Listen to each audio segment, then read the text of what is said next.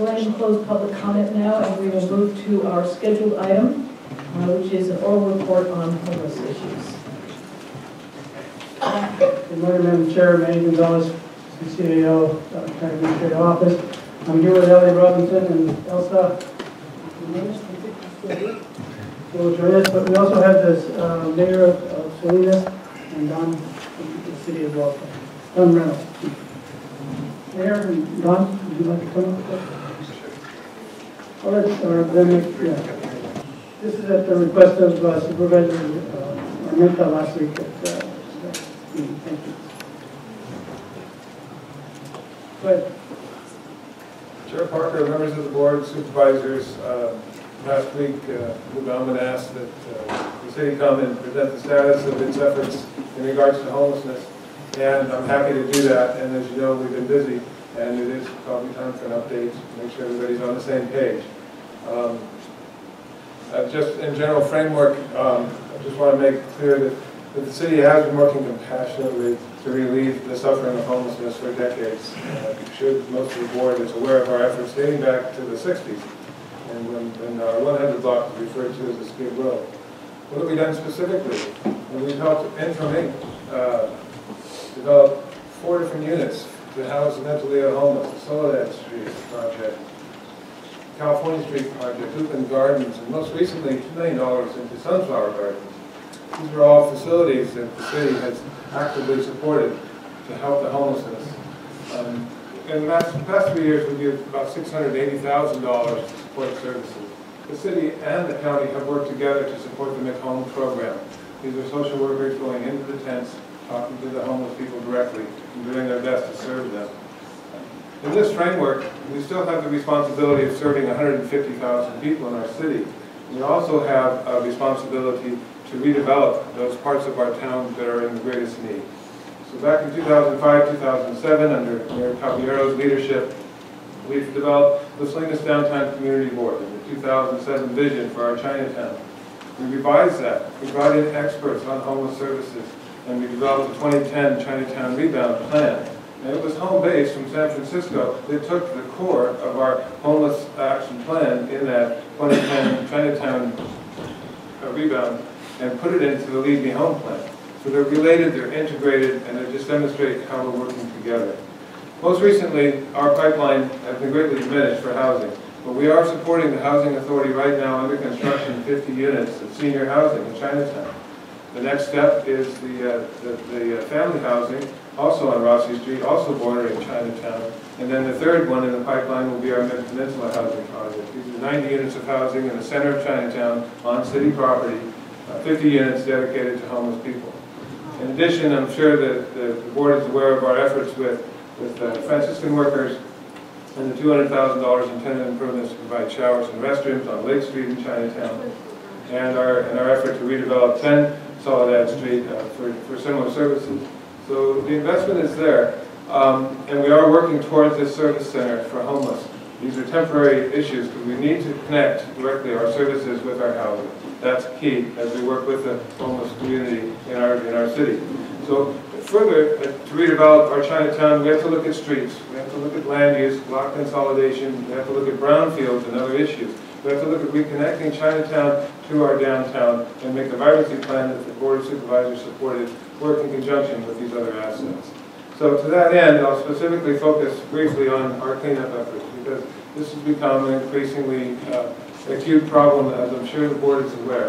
It was at the February 3rd meeting of the Downtown Community Board where uh, Fire Marshal uh, Fire Marshal Kamek and, and Captain uh, Vaughn came to describe to the Downtown Community Board meeting on Soledad Street of the terrible time they're having getting their engines into our Chinatown.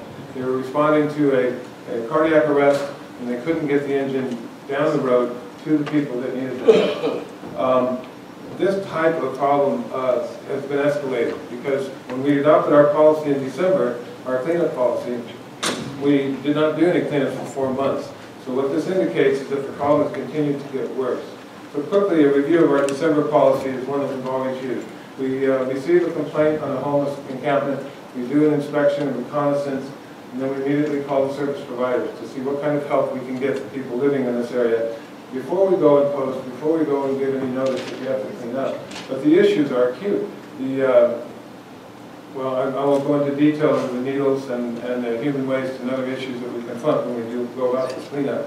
We're always, we've always contacted the social service providers first. So the new ordinance that the city adopted in December and last fall provides uh, a condition of, of how a homeless person should be living with that, the desired goal to get to something we refer to as a six to six policy. And it's a policy adopted from the city of Los Angeles after several uh, court decisions were made, which allows a person to reside on our sidewalks and streets and, and sleep the night from 6 p.m. to 6 a.m., but at 6 a.m. they need to move along. And the goal is to avoid these permanent shelters that we have built now in our Chinatown and other places in our city. Uh, the law also addresses personal property, and this was the issue of a, of a federal lawsuit that's still being discussed. What is personal property in the definition? So initially, we talked about bulky items being personal property, and on February 9th uh, of this year, we changed the ordinance and we removed that bulky provision, creating a much broader definition of, of what personal property is. And we also declared a state of emergency because we have a situation where our, our fire trucks can't get through, the trash trucks can't get through, and other issues in the, in the area. So with that, um, the court put, uh, the, the court agreed and allowed us to move forward with our cleanup. And so on February 9th, we declared the state of emergency. And then um, March 7th, we met with social service providers. Uh, 4 p.m. at City Hall, we had Catherine Tierney from the Coalition of Homeless Service Providers, we had the Home Program, we had Jill Allen from Franciscan Workers of Nipris, uh, and we shared with them our plan, clean up Chinatown. And it was a 90-minute meeting, we went through the details. We're going to post the whole neighborhood, we're going to work with homeless service providers, and we can find housing for folks, uh, including our warming, uh, warming shelter that remains open, uh, That is also a shared resource with the county. And, and look at housing vouchers and how we get people into apartments better, how how we can facilitate uh, uh, using those vouchers rather than having people turn away. So we started that conversation, and, and on uh, March 8th, we plan to post. And at the request of uh, Franciscan Workers and the Coalition of Homeless Service Providers, we postponed that until they could meet directly with the community so on 8th, there were three meetings held that Catherine and Jill sponsored, describing our process to post and post Salinas Chinatown for 30 days, and that we would be there on or around uh, March 23rd to initiate a cleanup. A cleanup that would start slowly, carefully, but with the most acute areas in Chinatown where fire hydrants are completely covered by encampments where the fire engines can't get through. Now, there was there last Tuesday at the same location where we plan to initiate our cleanups. So this is uh, a tough job, a job that nobody wants to do, but uh, the longer we wait, the worse it gets. And so with the support, with the support of service providers, we we reached out to the community, and only after then did we post the notices, uh, late in the afternoon on the 8th. So we will be moving forward with a cleanup on the 23rd. but We expect, we don't know how long the cleanup will last because of the property provision. We've never implemented this before, but uh, it will be slow and careful and uh, as compassionate as can be. Um, but it's something that we have to do as a city. We have to take care of our Chinatown and, the, and our whole community. So that's pretty much a summary. I don't want to take up too much of the board's time. I'm happy to answer questions. Thank you. And Chad, uh, the board members have any questions? Would you, at this point? I think um, it would be helpful if we just got through the presentation and then we'll Yeah, ask let, questions. let let Elliott and and Elsa cover what, uh, we're doing here in Monterey County. So I'm not going to go into details of all our kind of homeless programs. We presented that to your board several times previously. Um, But as we learned of the, um, the the coming uh, cleanup in Chinatown, there are a few elements that we paid attention to as county staff to make sure um, we at least began the process to make sure they're in place. And some of the, you know, two of those elements um, are part of our inclement weather plan. So there's the winter warming shelter, which can provide kind of an expanding level of housing as transition happens. And actually, the city of Salinas, I know uh, Don Reynolds has reached out to Bonilla about extending the winter warming shelter. Without extension, that would actually close on March 31st. So our goal is to look at expanding that you know, that shelter area where, you know, people, you know, feel like they're displaced or can't be on the street without their built-up structures, then there's a place to go. There's some other options that are also available that we're working with the um, uh, Coalition of Homeless Services Providers, but that winter warming shelter is most concrete. The other element of the inclement weather plan, which is an important ingredient in working through the um, coming cleanup, is the expanded level of um, service provision and case management in the um, Chinatown area. One of the elements we put in this winter for, um, to address the inclement weather was an expansion of services at um, Dorothy's Place. So an expanded drop-in center with expanded case management resources. And you'll recall, we brought that to your board um, earlier this year. That contract was developed for the inclement weather season only, which means it would um, end on March 31st. We've engaged in discussions with Dorothy's Place, that's the part that we're kind of um, taking lead on. Um, And what would it take to expend, extend that um, expanded case management and drop-in uh, center service through the end of June? Um, So with those conversations, um, the, kind of the increase that would be needed to extend that contract through, through the end of June is sixty-two thousand, four hundred and sixty-two dollars. We still have some contracting mechanisms to work through, um, but we're prepared to do that, and Dorothy's Place is also prepared to engage with us. In the meantime, we can do a no-cost extension, probably through April, to give us time to um, continue the contract. But what, you know, I look for right now is your board's direction on do we move forward with uh, expansion through the end of June for the Dorothy's Place, um, um, through the Dorothy's Place um, e- e- extension. Now, I, I- I can't have an action item, but, you know, somehow just to know that that's, you know, a direction item that we're moving, and then we would return back to your board with an action item, and we can use the uh, amendment provisions in our existing authority to, to kind of work through that time period. So those are the, the kind of the two elements are expanding winter warming shelter, which Salinas is taking the lead on, and expanding the drop-in center um, and case management services that Dorothy's Place has provided. I will tell you that um, Dorothy's Place has given us, you know, a, a- fair amount of detail on what outcomes they've achieved. Um, They've already, um, I think this is through the beginning of February, um, actually through February, in two months, they had um, 45 new client intakes. They've completed 36 of the, um, they're called the VI-SPDATs, which is a hard word to, which is an acronym for something, but it's the Vulnerability Index Assessment. So they've been doing the, the assessments and have been referring them through the um, um, Coalition of Homeless Services Providers, so those with the most vulnerability get prioritized for services. Um, Clients have been entering the case management system, that's, uh, been reaching out for the case management services, that's one of the most difficult things to do oftentimes, is to bring people into the engagement of services, and that's been happening, and the basic services have doubled in use, and that includes bathing, mails, access, bus fare to appointments, so. And between January 1st and February 29th, they were successful in having five people move out of encampment living and into the House of Peace, so. There have been successes already, so we've been pleased with that relationship. With that, I'll pass the mic over to Good morning, Supervisors. Elsa Jimenez, Interim Director of Health.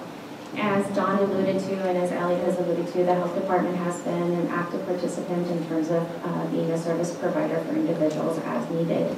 Uh, We've been successful through our McHome program that's funded through our behavioral health and the City of Salinas to be able to identify uh, uh, more permanent housing so- solutions for some of these individuals.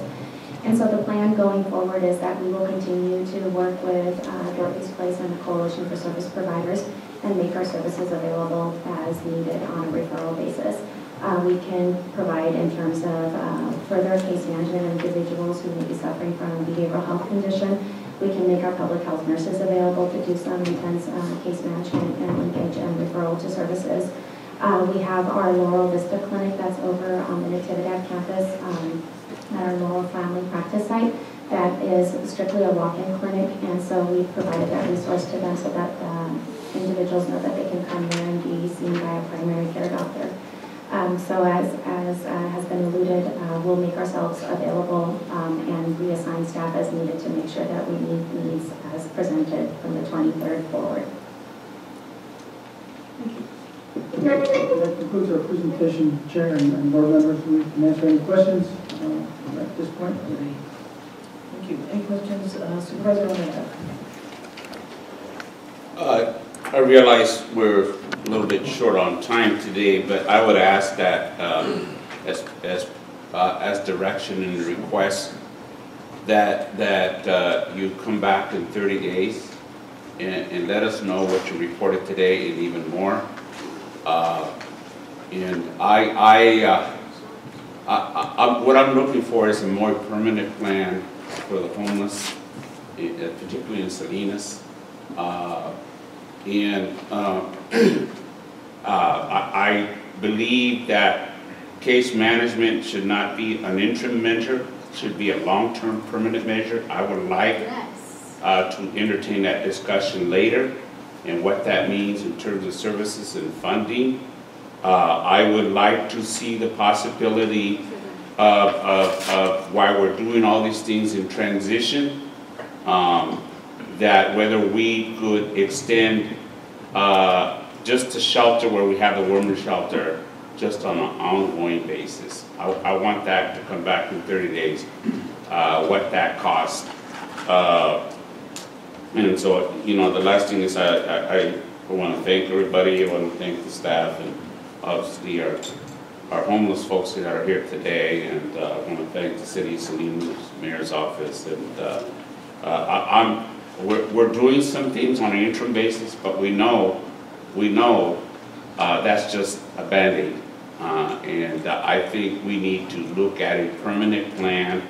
Uh, I don't want to, like I said before, I don't, we got the data before us, we got the bodies here, they're here today. I don't want a whole lot of research. I want folks that, that are case managers and that are social workers and everything else. I want a permanent comprehensive plan to at least take a look at that in 30 days, knowing that it may take us two or three months uh, to, to address that. Uh, I, I, I just, uh, I know folks have been working hard, but uh, I, I believe we've got to do, the county has to do a lot better than it has been. That's all. If I can just comment Supervisor Armenta, one thing that we do plan on bringing is um, through the budget deliberation process, augmentations kind of for, at least for the case management services, um, that kind of um, continuous presence that you're, you're mentioning. Thank you, man, I appreciate that, and, and I get the, the short term, and the city appreciate the work you've been doing, I know you're, you take this seriously, you're trying to do the best you can under a very intractable and difficult situation. And if there was a magic cure or magic formula, we would have found it. But the reality is, as Supervisor Armenta was indicating, long-term solution for homeless is to build homes, to build housing. And we know how difficult it is, it's been in this county, countywide, to build any type of affordable housing, whether it's for veterans, whether it's for any segment of our population, it's housing. And I always hear it, and I've heard it for years, we all support housing, we all support affordable housing, but when it comes to some communities, not in my backyard. But one of the, the, the- the positive things that I've heard about the Chinatown and the work that's been down there is the Mid-Peninsula housing. That is 90 units, 50 for homeless. That is where I, I think, I would like to focus some attention where the county can partner with the city. And, and, and one of the things that I like to hear, because I, I know I walked with Jill Allen a couple of weeks ago through, through Chinatown, seeing some of the situations. That is one where I think partnering together with the nonprofits, the city, the county, to see how do we stimulate and get that project moving. And it might be that we need to figure out how do we get that first floor, which is the one where I think is some of the, maybe the, the lapse right now, to get retail commercial. Where I don't think we're gonna find too many retailers or commercial, but maybe we could put in the nonprofits and the county offices and all the services that we need to build to, to develop a center there and sort of a one-stop for some of those folks. As we expand the intake, the case management that, that Dorothy's Kitchen has asked social service to look at. And so we can start moving those folks that are wanting to get the services and to move on and then deal with the more difficult uh, situation that we might have to deal with. So if, if we do come back and there's a report, maybe we can focus a little bit on that, on how we can, we can help that project get moving sooner rather than later, because ultimately that is part of the long-term solution for, for this very difficult issue. Appreciate it. And I, I too thank the city of Salinas uh, uh, for coming here and uh, telling us what, what's going on, and you, like, like Jim said by Supervisor Salinas, you have a tough situation you're dealing with, and I think the county has been working a lot better and with the homeless coalition to make sure the services, you you can say a lot, you're never gonna end homelessness forever and ever and ever, but we're trying to do things to make it better. Uh, Are the, question, are the winter warming shelters, the last time you were here, they weren't all filled, are they, have we, are they up to capacity, filled to capacity? Oh, Um, Let me turn to, um, at- they're at three quarters of capacity. So we still have We still have available? Some beds available in our winter warming shelter. But the winter warming shelter, just so you know, is only available during the inclement weather I'm going to go ahead and hear from the public. Um, I do have some speaker slips. Uh, Unfortunately, we have a very busy afternoon, so I am going to uh, uh, allow uh, for public comment, um, but I would ask you uh, to keep your comments to uh, a minute and a half. And if someone has spoken before you and you agree with them, if you would just say so, that would be great. Um, So first speaker is William Silas, and following him is Joe Gamboa. Please come forward and make your comments. Thank you, board, again. uh, I didn't hit myself a while ago. Uh, Two members of the general public. Uh, My name is William Silas. Uh, I am currently uh, resident of Chinatown. Home- Been homeless uh, off and on since 97, 1997. And thank God I've dealt with it, uh, I guess, satisfactorily. I'm still here. Uh, There are many challenges that face us uh, in the situation that we're in right now. Uh, And and quite frankly, there's a very strong sense of uh, hopelessness down in Chinatown and fear. People don't know where they're going, what's going to happen or whatever. Yes, conditions down in Chinatown need improvement. True. Uh, Mr. Callahan spoke of, about a state of emergency. Uh, into a classification. Uh, there is a state of emergency. But let's put it in correct perspective. Uh, there's, there's some people in some wheelchairs with some crutches and stuff, don't got nowhere to go. Uh, talk about, uh, uh, service providers and stuff, they've gotten rejected in pretty much different terms with that. Uh, veterans, they don't get the help they need the time they need. Uh, there's a lady that is eighty-some years old down there, just give you one, one, one, one classic example. Uh, next week, she's getting boots out, booted out of Chinatown. Okay, uh, there's no room in Dorothy's for everybody. Uh, where's she going? Eighty-some years old, she's had her time down there. Currently trying to find somewhere for her to go. You have to give certain priorities to people there's, there's, there's children down in Chinatown that's gonna be affected by some people coming in and say, let's do a sweep, take this camp down. Well, if you wanna improve Chinatown, you're gonna take, you, you're gonna, you're gonna eliminate the encampments. Uh, but my, my question is this, give us some kind of a reasonable accommodation. People talk about, uh, housing is being, uh, uh, prepared here, we don't see any of that. We don't see any of that. You, you, you, you do this week, tomorrow, or next week, where these people gonna be? These people gonna be scattered about wherever. Let's get realistic about that. It's- We, we, we can wait until housing comes about, you know, good housing, so, so that everybody involved. More than two-thirds of the people in Chinatown are not going to be afforded any kind of housing for the next 60, 90 days, six months, or whatever. And if that's dependent upon, you know, the, the programs that are, that are in place right now, where are they gonna be? Thank you, sir. Well, we wanted, just one, one, one, one thing, man. We want some kind of reasonable accommodation. If, if they're gonna come and do sweeps and stuff, give us a little time, you know, to come up with something better for us. If we can, can improve the standards where we live right now, that's a big issue right now. Let us attempt to do that. Give us some benefit of the doubt. That's what we're saying. Thank you. Thank you for your comments.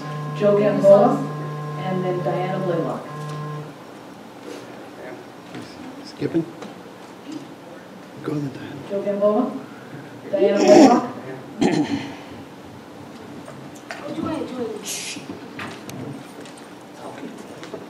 Thank you, Board of for having us here in the city.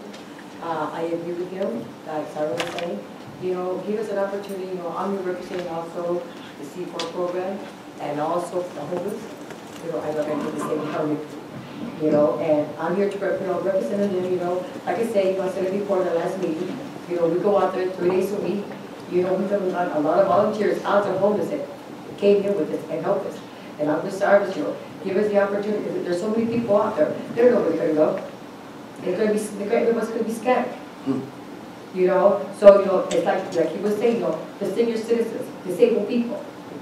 You know, where are they gonna go? There's some of them, there's a lot of people out there with wheelchairs, that can't even walk, walkers, children.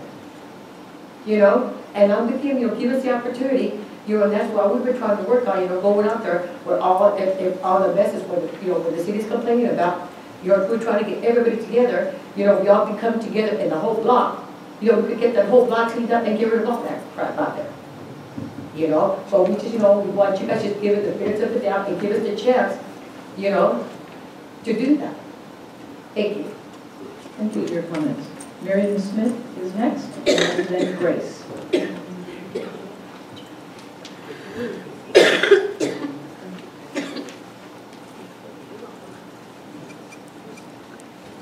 Yeah, good morning again. And of course, I'm Mary Ann Smith. I just want to share that um, I am super concerned with uh, what's happening in our, um, in our county, and I feel that the responsibility lies on the supervisors to basically dis- declare a state of state of emergency. Um, I want to say that our, our city, our, um, most of our le- leaders in our city, uh, even here, have said that homeless should be in Chi- Chinatown. They've sent them there, people have referred them there. And um, I want to say that uh, Chinatown has developed a community like a family, like type of thing. And they are, they are people. They're human beings. They're not, um, as uh, one of the representatives of Salinas has said, uh, the longer we wait, the worse it gets. They've been there for years. So they're not animals that just run wild all over the place. They're real human beings that need to have um, permanent residence, permanent place to go. They need to have, um, uh, so it, it is just super important to understand that we need to work on the housing first, and they need to, we need to pull from um, a consultant from Utah, someone that knows about that project, to help put these people in housing rather than to continue to dump them throughout the county, throughout the city of Salinas and throughout the county. So um, I just want to make a plea to you to please um, consider the housing first and consider declaring this a state of emergency among the um, Thank you. board. Thank you very much. Thank you. Thank you for your Thank you. First of all, I'm pretty disappointed that we're only getting a minute and a half. Um, You know, we allow plenty of time for accolades and resolutions, awards, retirement. It's pretty disappointing that your lunch is more important than a bunch of people that can't afford rent. Uh, So that, that, you know, disappoints me. Uh, in The city talked about compassion, uh, pushing people out and to where they have no shelter at all. That's not compassionate. Tell them that they can sleep from six to six, as long as they can carry everything they have in a backpack. How can you carry a tent as well? You can't even tie it down. We've got wind, rain, sun. Shelter is a human right. So I don't see any compassion with that. I also believe the city lied to you. They said fire trucks can't get through. There is not a single intersection, Thank street that is obstructed completely to where a vehicle cannot get through. Sure, there are issues. Sure, they can cut back. They can have less stuff. We've got plenty of orders with people that would, that have property. You know, let's, let's deal with that too. This is, it's frustrating. Uh, fire hydrants are completely covered. Not one single fire hydrant is completely covered. In fact, every fire hydrant is now completely accessible by fire departments and hoses can be connected. There is plenty of time uh, to uh, get these things mitigated. There is no state of emergency. That is the point. And I'm insulted and disappointed that none of you guys are sticking up for this. Every single one of you are just standing there, and oh, you guys are doing a great job, good job. Five people a house, you're pleased, if five people are a house, you know there's over 300 people down there. Where are they supposed to go? What are they supposed to do? Well, they should just live out of a backpack or just leave town. And that is what the ultimate goal and objective of this ordinance is. If you're too poor to afford rent, you don't belong in Salinas. Thank you for your. That's horrible. Thank you. Your time is up. Uh, Is there any other, uh, anyone else? So businesses are freaking out. Sir? Thank you. Residents are freaking out. They're gonna end up going wherever. Thank you, Wes. People are gonna trip out and there is plenty of disappointment going on here. Thank you. Hi. Um, my name is Desiree Smith, and I just wanted to say that, um, I drive through Chinatown pretty often enough, and, um, there's usually not any obstruction, um, yeah, there's usually not any obstruction in my way to where I can drive safely, um, wherever I need to go. Um, and, yeah, so I just wanted to say that because I think that can lead to a lot of um, misunderstanding that's highly unnecessary. So, thank you. Good morning, My name is Eric Peterson. La- uh, A bit over a week ago, Johnny Valenzuela was found dead. Johnny Valen- Valenzuela was a resident of Chinatown, 53, died of natural causes. Natural causes at 53 is awfully young. The city of Salinas continues to wage war on the homeless while other communities are working to fix things, some with a great deal of success. The minute Salinas wants to fix the problem, well, it'll start getting fixed. In the meantime, things just keep getting worse. Supervisor Phillips, two weeks ago, suggested sending homeless veterans to Chinatown. That's just gonna make it worse. More people in Chinatown, worse treatment for disabled veterans, homeless veterans. Our mayor is allegedly a Marine veteran. He should be doing things for the homeless instead of to the homeless. Hmm. The West Valley Hood Warming Shelter. First of all, everybody's got to be out at 6 a.m. They can only take a backpack in. I was told by somebody who's been there a number of times, it's better than the tent on Soledad Street. That's not much of a compliment. That particular individual, I've got more of her belongings in my home than she's able to take with her. And that's just, there's something just wrong about that. Uh, fire engines, I saw a fire engine go down through Chinatown Friday. They didn't have a problem. They didn't go fast, but they got through. Um, lastly, the um, homeless sweeps, I watched, I've been seeing several of them. I watched a guy once who was very distraught because all his belongings were going away. He'd had two weeks' notice. He saw everybody else take their stuff away. He didn't get the message. I submit, I'm not an expert, I'm not a psychologist, but I submit somebody like that has got issues and he needs help. Thank you. So I'm going to go ahead and close public comment and bring it back to the, um, to uh, staff if there's any response or uh, the dais for, for action. For direction. Okay. I, Um, Supervisor Armenta. uh, how many homeless folks, for example, are in tents in Chinatown? My question, first question. Um, I believe the estimate is, is approximately 300, Approximately. 250. So, Two fifty. I, I, I do want to apologize and not apologize at the same time. And that is, we eliminate those permanent encampments in Chinatown, all right? Or they can come back six to six. If we wanted to, I'm speaking about the county, at least for now, if we wanted to, find a place for these folks warming shelter or anywhere else, could we accommodate them with interim housing is my question.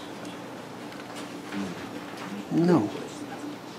If, for all the 250, could we identify 250 units where people could go? Um, Not that I'm aware of. You would have to work with them, and there are a number, of- I say that for a number of reasons. I mean, are there 250 vacancies in Monterey County at any given time? Probably yes, I haven't studied the vacancy report. But you'd have to work through two things. One is with the people to prepare them for entry. Two, you'd have to kind of ask the question about affordability. Three, you'd have to make an appropriation if you wanted to pay the rent and figure out what are the policies for actually payment of rent and um, that would become a a substantial issue. Let me- Let me just leave it at that. Um, Three, you have people, some people who may not be willing in one way or another. And I I say that more by way of if they have income, would they want to put the income to rent? So there are lots of issues that you have to sort through on an individual basis in order to find that kind of permanent housing that you're suggesting. In terms of establishing expanded transitional and/or permanent housing, permanent supportive housing solutions, that is something that I think is something we need to pursue. I know in our conversations with the Community Foundation, there's interest in that. Um, The first one kind of specifically geared to Chinatown that's coming is the Mid-Peninsula Housing Project that the city of Salinas has been working on. Three years away. Um, That will, you know, establish housing for 50. Um, But I just would close to say that the, the housing and the overcrowding shortage in our community is something that's very real, very genuine, and something that, you know, takes concerted attention. Uh, if I may, I just want to finalize it, you know, and I, and I realize all of us, and the homeless folks especially, have been working very, very hard. But the pessimistic side of me is, we, we think we are up here, we think we've declared a state of emergency. We haven't. We have not declared that. We assume we declared that. Because once we declare what that, we have to define what that is. And we have not declared it as a disaster. Okay? We- There's a sense of urgency now, but that sense of urgency has only come within the last six months. And until we do so, in 30 days, when I ask that you come back, hate to sound pessimistic, significantly, not much is going to change. These folks will be encampments elsewhere, and they're gonna suffer, like they have been suffering, very significant difficulties to their health, their public safety. And uh, i- i- until we get on that level, uh, I, I think we should. It's just a matter of when. There's a lot of good proposals, but we have not, this is, this, to me is, as one county supervisor, we are not treating this to the fullest extent as an emergency crisis. Yes. That's all. Um, All right, uh, I am going to um, thank everyone for coming. Um, This, uh, really appreciate uh, everyone who came to speak here today with everything that you have going on in your lives to really make sure that um, we're keeping our attention on this issue is really important. And uh, I want to let you know, uh, we hear you, we're working on the, the programs and things that we can affect, both for short-term and longer-term solutions. I would ask that when you come back in 30 days, that um, there be uh, some way for you to tell us what kinds of identification of uh, properties or, um, you know, things that can be um, turned into transitional or permanent uh, supportive housing um, in the short and medium term. Uh, The, the housing, the mid-pen housing, it's probably, what, two or three years away from being ready. Um, It's great that it's in, the in the process, but, um, you know, when we're talking about suites starting next week, um, you know, we, we need to be really focusing on what we have in the, in the short and medium term uh, as well, and really keep our attention on this. Uh, Yes, Ms. Roberts? Um, Just kind of the other thing, because and I'm looking at Charles for a little bit of how I word this. Um, But in terms of coming back to your board with the extension, uh, with a proposal to extend the case management services. The challenge is we haven't identified all the financing, and so whether it comes from where, we're not sure, but um, that's why I kind of want to make sure that there's at least some level of concurrence, that we include that in the proposal that we come back with. Good. So um, I think just as general direction, um, some nodding, shaking Aye. of head if we don't want it. Yes.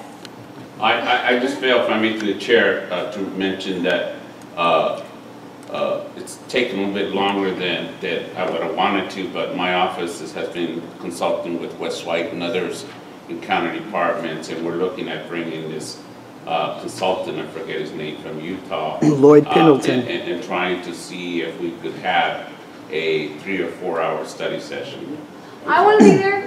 with, with the board of supervisors and other stakeholders. Yeah. A- And so, uh, I just, uh, Yeah. wanted to mention that. That- And just for people's sake is, we're not going to lunch after this. We've got four hours of closed session, They do a lot. but now things. into four thirty, so if I could find a way to get out of that, I would. But we have a responsibility to, to take care of what we need to do in closed session. Thank you. Come on with that. Thank you. So I'm going to close the discussion now. We are going to recess into closed session. Um, We will be back in several hours before that closed session.